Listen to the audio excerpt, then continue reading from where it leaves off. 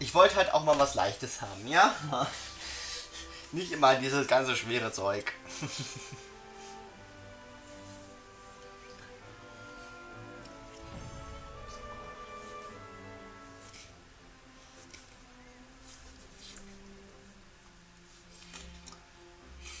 ähm, ja, 1 Minute 28 haben wir gebraucht.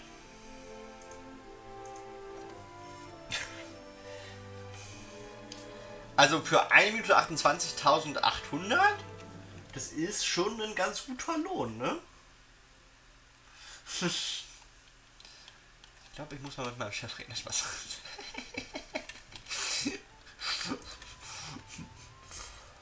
ah. Ja, vielleicht muss ich doch mit meinem Chef reden. Ne? So, jetzt gehen wir aber wieder zurück. Das war der Auftritt. Äh,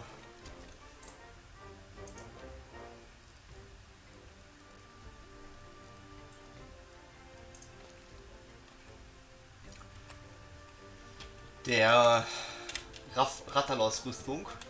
Ein sehr kurzer Auftritt. Aber das war er. ähm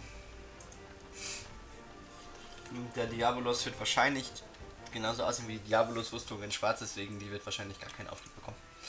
Aber farben möchte ich sie trotzdem. So, es ist soweit, Leute. Wir essen.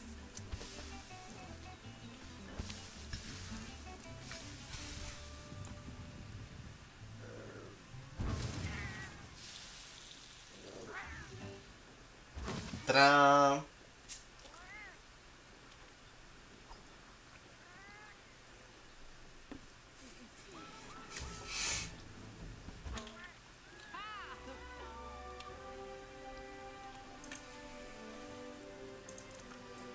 So, und es passiert etwas, was ich vor langer Zeit nicht gedacht hatte, dass es passiert. Wir nehmen die letzte 7-Sterne-Quest an, die zwischen uns und dem Nergiganten steht. Aber wir tun es. Es ist nicht mehr viel, es ist die letzte Quest, wie gesagt, zwischen uns und dem Neckar. Let's go, ich bin mal gespannt.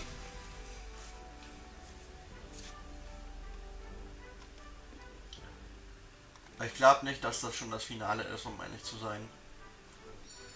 Also wir haben ja jetzt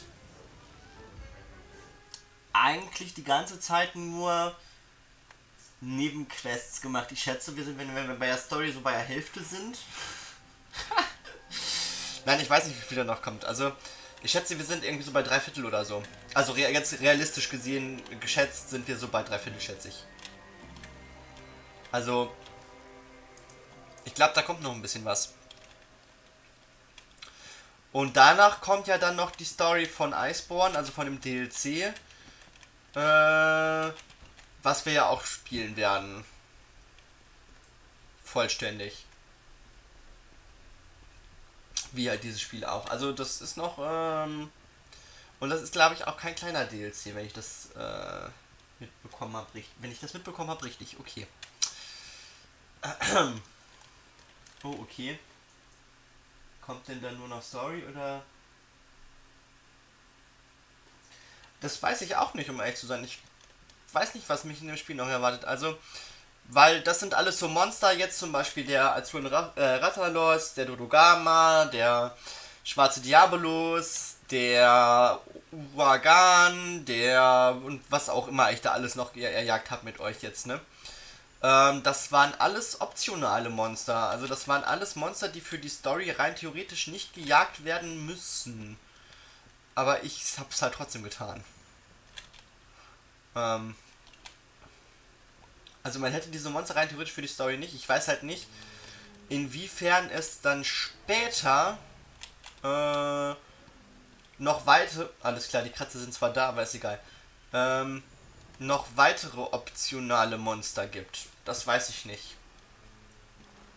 Vielleicht ist meine Einschätzung mit 75% der Story auch komplett falsch und es, sind nur noch 10 oder es ist das Finale. Ich lasse mich da selber so ein bisschen überraschen. Ähm aber ich glaube halt auch, dass der DLC nicht klein ist, der ja, den wir ja auch spielen und ich glaube allein deswegen wird dieses Projekt, du wirst noch sehr oft hören, wie ich esse, glaube ich.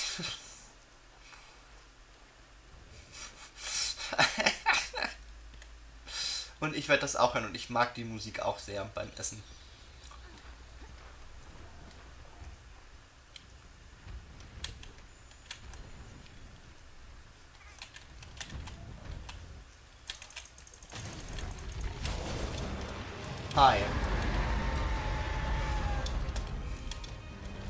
Ja, ich weiß, du bist anders drauf, ne? Ich habe was vergessen. Ich muss weg. Tschüss.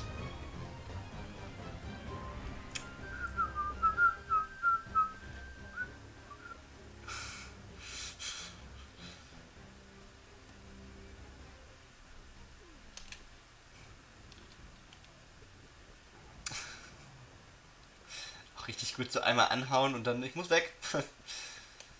Hab den Herd angelassen. ähm.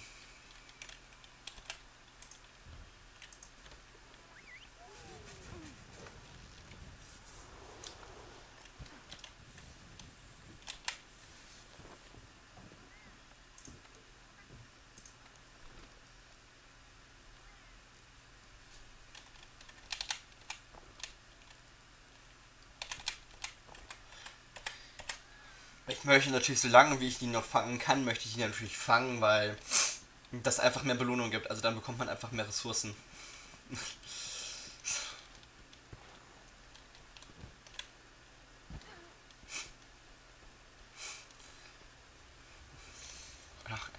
Auch gut, so einmal hauen und sofort wieder weglaufen. So, jetzt aber.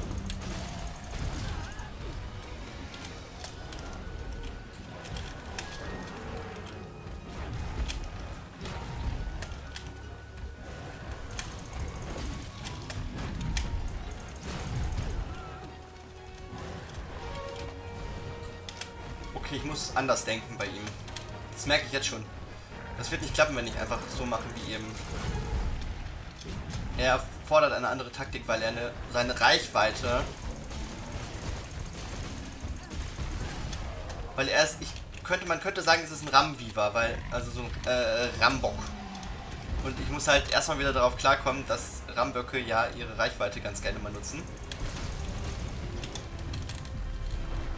um einen halt wegzurammen, ne?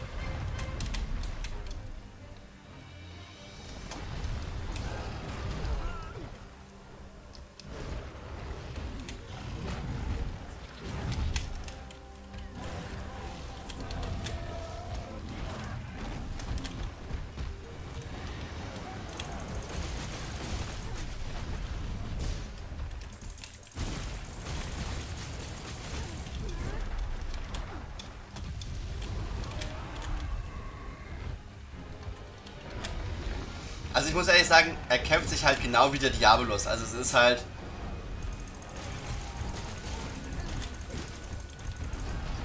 Ja, er ist stärker, man, das merkt man auch, aber letzten Endes... Ich habe mir aufgrund des azuren äh, Rattalos und so habe ich mir zugegebenermaßen mehr erhofft als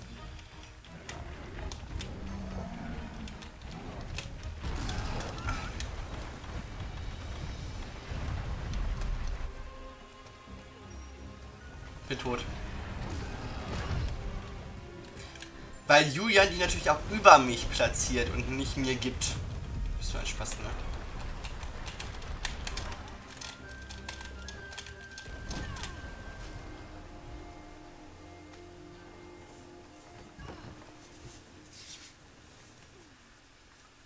Ja, nein, Julian kann da nicht viel für, aber das ist schon wieder so ein Kampf, weißt du, ich kann mich nicht bewegen, ich krieg auf, ich werde getroffen, ich sterbe, so. Es ist so, ja, dann lass mich halt, Julian kann da ja nichts für, ich schieb das nur mal gern auf den.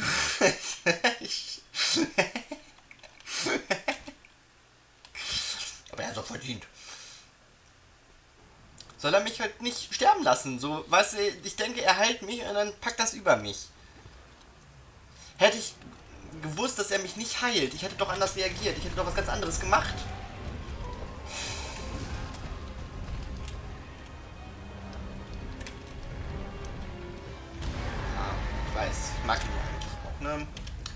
Du weißt, ich meine das gar nicht so, wie ich das sage. Ach, und jetzt haut der feine Herr ab hier, oder was?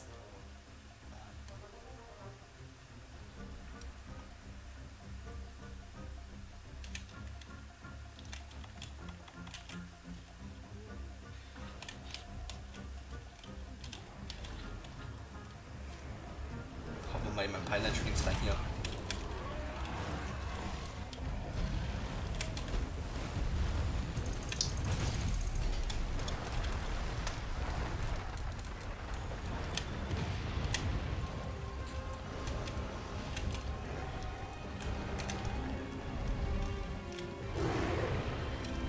mische mich ja nur ungern ein in, den, in das, was ihr da macht, aber macht mal ruhig.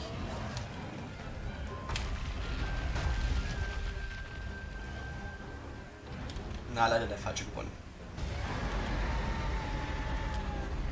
Weil ich weiß, dass da beide gewinnen können.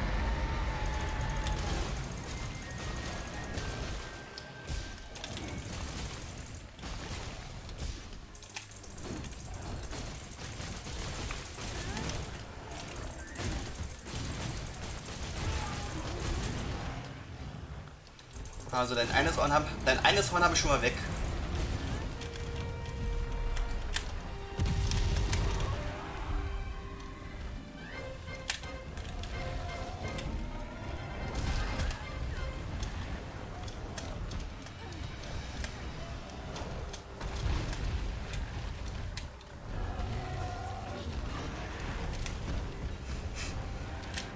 Ja, da wäre ich auch sauer.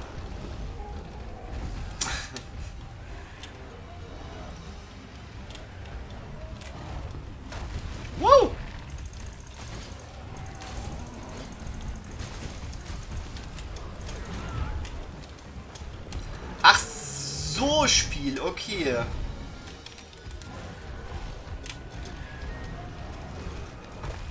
Also ich wollte sagen, wenn er mich jetzt getötet hätte, das hätte ich auch nicht eingesehen, ne? Weil er hat mich einfach... Ich habe mich einfach vor ihn teleportiert.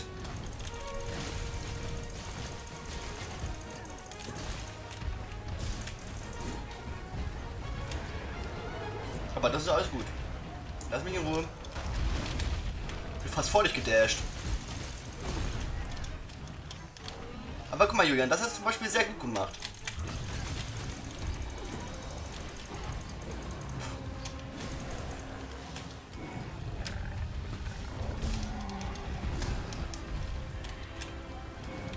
Ja, das habe ich halt nicht so gut gemacht, aber...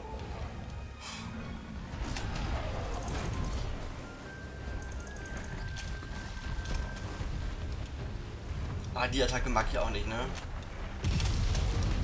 Weil bei ihm weiß man nicht, ob er...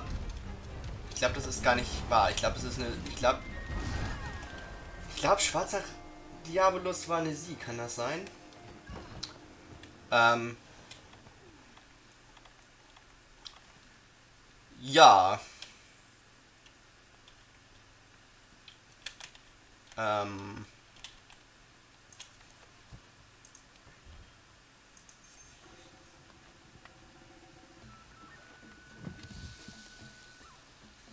glaube, das ist eine Sie. Ich weiß es gar nicht genau. Aber ich meine, schwarzer Diabolus müsste weibliche Form des Diabolus sein. Ähm, wenn ich das im Kopf habe. Wenn ich das richtig im Kopf habe. Ich glaube, ich habe das richtig im Kopf. So, ich sage das jetzt einfach. Ich lege das jetzt einfach fest. Ich lege einfach fest, dass das so ist. Und hoffe, dass ich mich nicht irre. Das ist ja mal eine nette Begrüßung. Ah, und auch gleich mit der Scheißattacke hier.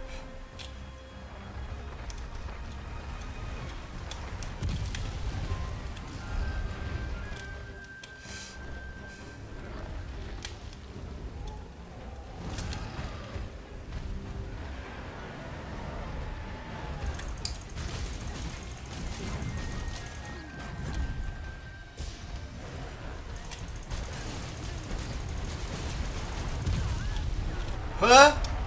Ach so. Natürlich, wenn mich natürlich beide angreifen, kann ich da auch sehr viel noch dran ändern, ne? Ah. Ich wusste nicht mal, dass der andere da ist. Aber gut, da haben sie gut zusammengearbeitet, das muss man ihnen lassen. Ich habe was bekommen.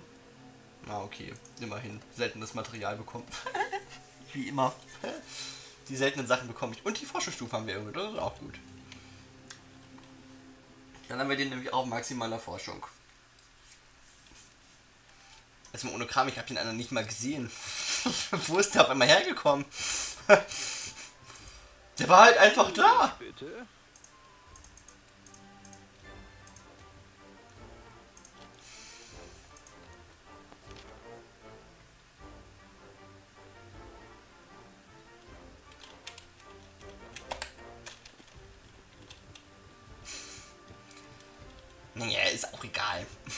Immerhin Forschung, das hat sich gelohnt. Wo der jetzt trotzdem herkam, weiß ich jetzt auch nicht, aber es ist auch egal.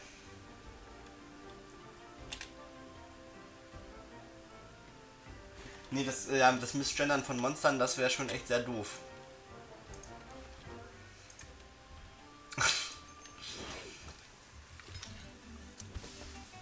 Vielleicht war er deshalb so sauer, der andere. Weil er dachte, ich meinte die ganze Zeit ihn, aber ich meinte ihn ja gar nicht. Man weiß es nicht so, ne?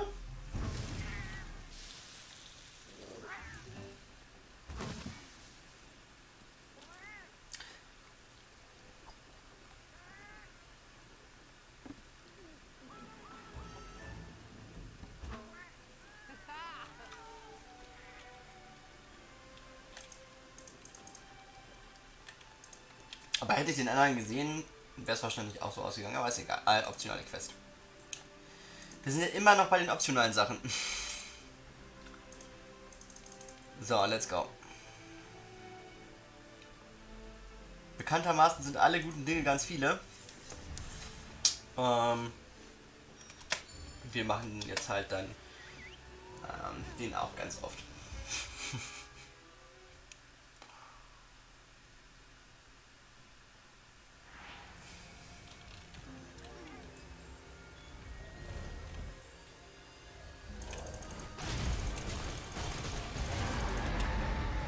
Ja, ich bin zwar kein Fan davon, dass ich jetzt hier schon wieder vor dir stehe.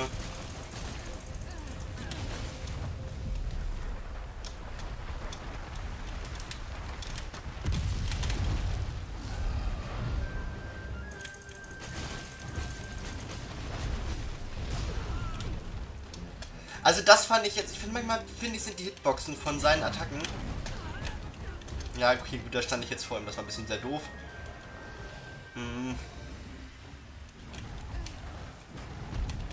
Aber jetzt gerade, also davor die Hitbox von seinem Schweif, habe ich zum Beispiel nicht verstanden.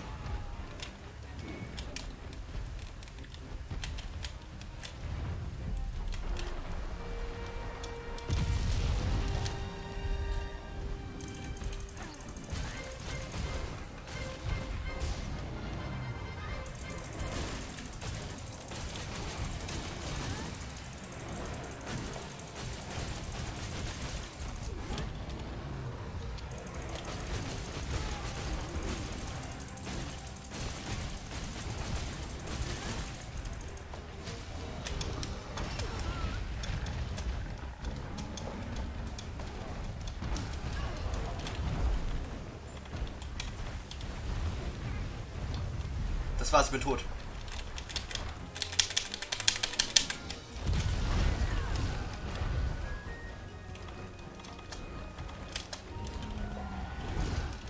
Ich wusste es, er.